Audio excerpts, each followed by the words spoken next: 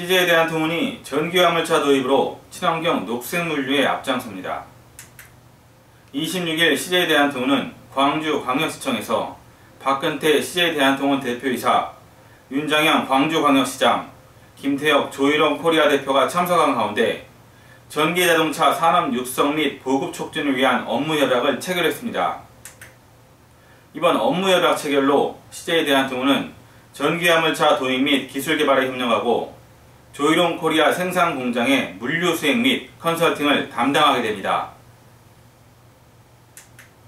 광주광역시는 전기 자동차 생산 기반 조성, 보급 활성화를 위한 보조금 지원 등 행정 재정적 지원 업무를 수행합니다.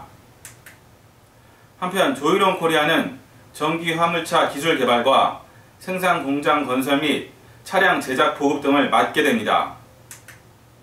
CJ에 대한 통은 이번 업무 협약 체결로 기존 1톤 택배 배송 차량을 친환경 전기 화물차로 대체한다는 계획입니다.